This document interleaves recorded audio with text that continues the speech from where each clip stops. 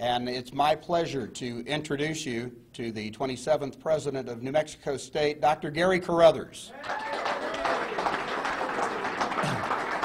Thank you very much. Thank you and welcome to everyone. Before I start, I want to thank Mac Boston for his great 10 years of service to New Mexico State University. He did a wonderful job. Mac, and I, I, particularly like to highlight the good work that he's done in academics and in community service and building our athletic programs here. So we're proud to have had Mac Boston with us for 10 years. But at this time, I'm delighted to introduce Mario Moccia, who is going to be the next athletic director at New Mexico State University beginning January 5th. I'm going to let Mario tell you a little more about himself because I start telling stories, and some of them are true and some of them are not so true, and then I start making up stuff. It's my political background that causes me to do that. but, but I will tell you the important stuff is he is an Aggie. He's a graduate of New Mexico State University. Has a bachelor's in psychology from New Mexico State University. He was a star baseball player here, and then he played some minor league baseball with Detroit Tigers. And then I'm going to let him explain to you his career, but it's an illustrious career in the business of being an athletic director. So would you please welcome Mario Moccia, the new athletic director of New Mexico State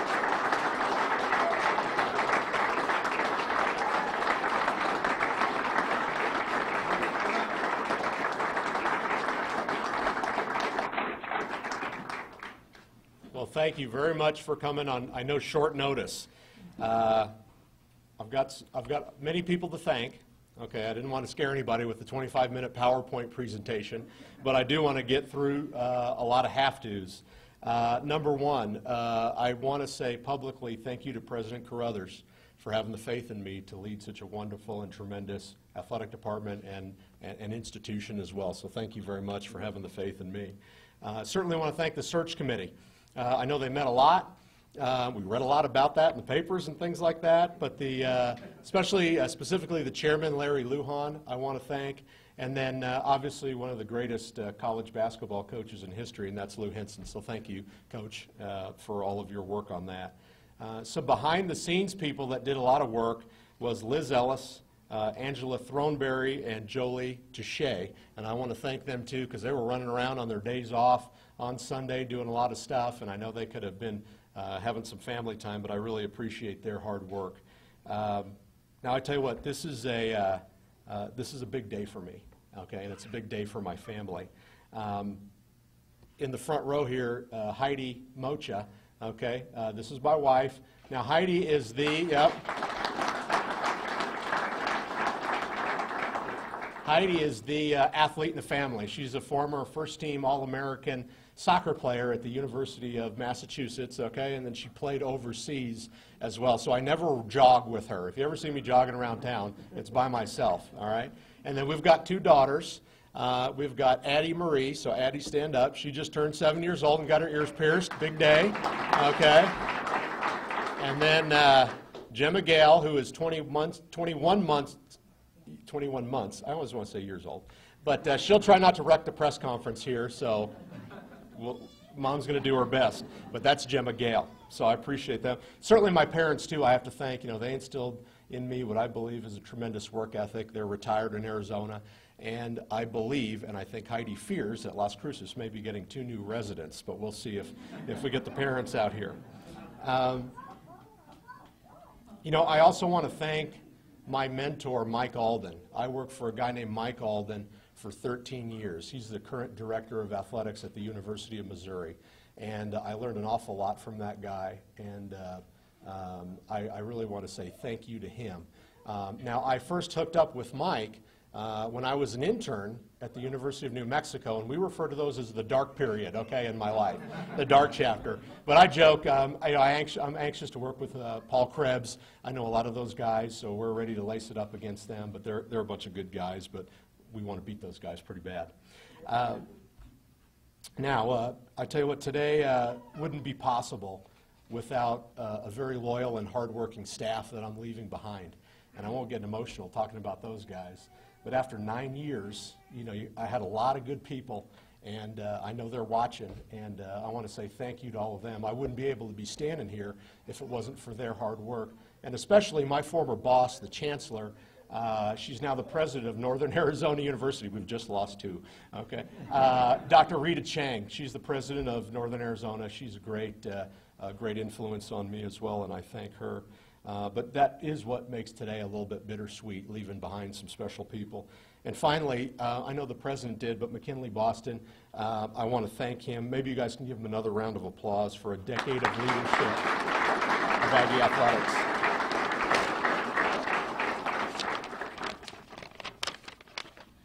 I, uh, I'm really excited today, not just from a professional standpoint, but from a personal standpoint.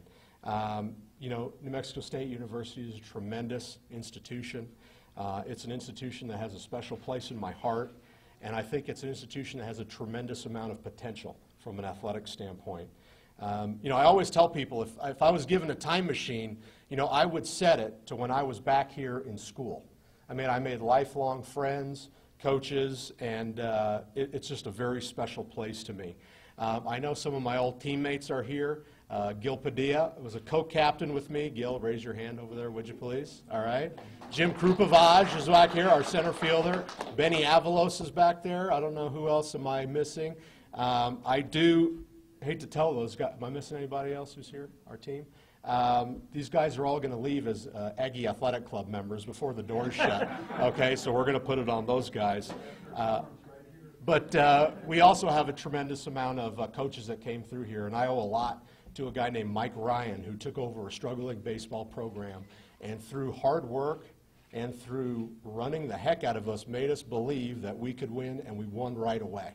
Okay. Also, Elliot Avent, uh, tremendous coach here, and you know two of the assistants, uh, Scott Crampton and Keith Lytle, uh, meant a lot to all of us, and they did a they did a heck of a job molding me as a student athlete and as a person. Um, now, I just met with the entire athletic staff. We spent a really uh, good session together, talked, kind of laid out some things, uh, and I'm very anxious to, uh, to join the community. Um, I know there's a lot of work to be done on a lot of different things, but I will tell you, you know, we'll operate our athletic program on three core principles, and that would be academic integrity, social responsibility, and competitive intensity. We want to win in everything we do, okay? But those will be the three biggies. Um, and I'm going to ask, and we will ask personally, all the Aggie alums, the fans, the donors, and the letter winners to help us emotionally, financially, and by attending the ball games. Okay, we'll do that personally. That'll be a big thing on my agenda. Now, you know, I was talking to Coach Martin. We had a we had a tough loss in football on Saturday. Okay, um, but we will be focusing on football, and we will make sure that they have the resources to compete at the highest level. Okay, it's going to take everybody's help. We're going to ask a lot of people in the community. We're going to ask a lot of alums all over the place. But that has got to be and will be a focus of our, uh, of our administration. I also talked to Coach Menzies. Um, basketball has always been the crown jewel um, of this institution. Um, it's, got a, it's got a great spotlight on it, and I look forward to working with him to make sure we keep our winning ways in basketball and take it up to some of those high levels that, that coach had set back in the day. So I, I, I had a great time with him as well. Now, I want to tell everybody in this room a true story, okay? 25 years ago, to the month, there was two former Aggie baseball players who were hired to repaint the parking lot south of the Pan Am Center. We just parked in it right now. Now, it didn't look like it does now. Had all those little gravel pieces all around there, okay? And we got two brooms, and we got a little thing, uh, we got a little, you know, little tray we put our paint in, and we got two of those thin rollers, because you had to have the little thin lines for the parking. And that was our job. And you had to hand sweep this parking lot. I'm talking, you really had to put your shoulder into it. And then you had to hand roll it, and if you got a little rocks in your thing, you had to pick them out, and they couldn't get, it was a pain, okay? One of the former baseball players may have quit halfway through, but Gil, I'm not going to say who that was, okay? but thank goodness Coach Avent sent over a bunch of freshmen, and we got the job done. But uh, I tell the story for three things. Um, number one, who would have thought that one of those guys painting that parking lot 25 years, 25 years ago to the month would be named the director of athletics of such a tremendous institution, okay? Uh, Number two, there is no job too big or too small for us in the athletic program, but we're going to need help, okay? And I'm going to ask for it, okay, starting today, okay? And it's also, it's time to roll up our sleeves and get to work. That's our entire coaching staff, that's our entire athletic administration, and that's our donors and our friends and our alums. We're never going to do it unless we all do it together, okay? But Gil, that is a true story. You can, you can tell everybody that later. I, uh, I'm very excited and I'm very humbled to be your director of athletics. Uh, we will work very, very hard to make you proud of New Mexico State University and its intercollegiate athletic program. Come to the men's basketball game tonight. Those of you who are listening, come to the men's basketball game tonight. Um, you know, we're going to we're gonna focus on increasing attendance. We've got great seats available. Uh, thank you very much, and go Aggies.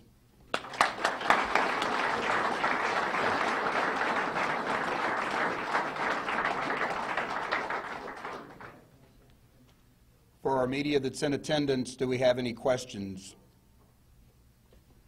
Um, How how will you address the issue of attendance at uh, at basketball games and football games in general? Do you mind telling me your name and your affiliation? Uh, Hugo Perez, Department of Journalism and News 22. Okay, great. You know, how are we going to focus on uh, increasing attendance? Um, you know, we're going to do a lot of surveying.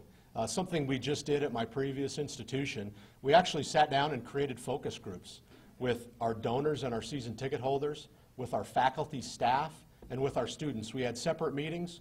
We had pizza, we had some beverages, and we asked them, hey, why, you know, what are you hearing out there? What makes you come to a game? How are the game times? How is the entertainment? Um, we realize that the product has to be successful to get people excited. But we also want to create a value-added atmosphere pregame, tailgating, things going on during the game, things going on after the game. So I think the biggest thing is how to attack that issue is, uh, number one, ask our current folks and ask part of the community, hey, what do we need to be doing more? Hey, I'm an alum, but I haven't been back in a while, so I need to take the temperature of folks. But I'm telling you, I'm not going to, and you know, people maybe ridicule me. We're not going to accept that we can't win in football here. Absolutely not. We can win, and we're going to put things in place uh, to try to make sure that happens. But we're going to ask folks to help us, and we're going to ask them their opinion, and then we're going to implement as many of the good ideas we can on our budget. Ernesto. Thank you. Ernesto Garcia, Adams Radio Group of Las Cruces. If able to get successful in all sports and attendance part, would this mean a chance for New Mexico State to move on in conference affiliation, maybe look uh, above the WAC and see what might be available? Sure. Well, uh, first of all, you know, I know Jeff Hurd, the commissioner of the WAC. I know Karl Benson, the commissioner of the Sun Belt. We're very happy to be in the conference, okay? We can't be putting ourselves in a position to be independent. But, you know, that's a good question. And as you know, the landscape is very unsettled. We just had a, a big earthquake a few years ago. Now there's these little rumblings. Um, so I don't think anybody has a crystal ball, but I think if we can focus on what we can control, you know, if we can increase attendance, if we can win football and men's basketball games, if we can put ourselves in the best position possible, if there are moves on conferences and it makes sense, we just become that much more attractive. So, you know, we'll, we're, we're, we're very pleased with where we are and we're very thankful. But of course, uh, just like anything else, if there's opportunities, um, you know, we would always listen to those. Yes, ma'am. Hi, I'm Lauren Villagran of the Albuquerque Journal. Uh, you have a history of fundraising in your previous position. Can you talk to us a little bit about um, about what you'll bring from what you learned at Southern Illinois here in terms of fundraising for, across the program? Sure. Um, you know, I started out in fundraising when I was working with the Lobo Club, all right, and we had to do that at Southwest Texas, now Texas State, and we raised well over $100 million at the University of Missouri, and I just left Southern Illinois where we did $83 million in athletic building. Um, you know, how will we attack that? Um, I never thought fundraising was, you know, higher mathematics. Thank goodness, if you saw my transcript here. The press assures me that he hasn't dug too deep in my transcript. But I think the reality is I want to go to our existing supporters, and in that, I want to ask them, who else do I need to be talking to?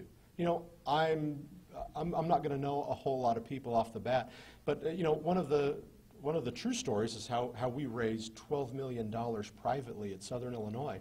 When I first got there, there was 30 names on the list. And I said, I don't think this is going to get it done. And I went to three key people and I said, who else needs to be on this list? And you know what? That list grew to 150, and then it grew to 300.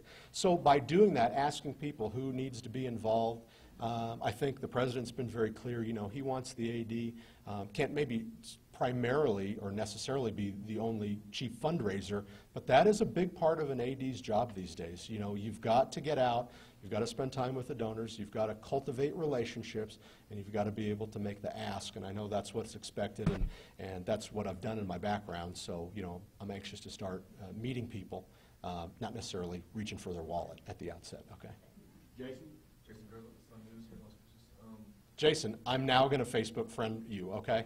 Jason's been wanting me to be Facebook friends, and now, immediately after this press conference, I will, I will accept you as a Facebook friend. But I hope you understand that I wanted to keep my mouth shut so I didn't get fired before I got hired. Well, you, you just mentioned, um, you know, the, the, some of the responsibilities of an AD here. Does that mean, will you hire a deputy AD, and does that, can you talk about what that person might, what their responsibilities? Sure. Um, I think it would be uh, incredibly short-sighted to come in and start making changes for change's sake. I think uh, a good administrator, whether it's in the athletic program or part of the community, or, you know, in, in business, will come and do some evaluation, you know, get the lay of the land, ask questions, things like that. Then I think we can see, you know, how can we set up the organizational chart? What might be best for us? You know, what does our budget look like? That's impactful too. So I haven't been prepared to come in here and say, hey, by the way, here's the plan I've been working on for New Mexico State. I want to get to know New Mexico State athletics before I start making any wholesale changes, and I think we're prepared to do that. I have one for President Rogers. Okay. Um, can you just talk about, was, was hiring, was, was his ties to New Mexico State, was that, you know, how important was that when you're trying to reach out to, you know, alums and stuff like that in the state? Well, it's always important to hire Aggies, and I do that with reckless abandon. Um, We just hired a baseball coach that's, that's an Aggie, but uh, that's not the primary condition. Uh, This gentleman uh, was one of 40 applicants. They were screened by a great search committee, uh, got into the final eight or nine, uh, then down to four. And in all those interviews and in all of the conversations we had with references, he seemed to stand out a little bit in terms of his ability to go out into the community, to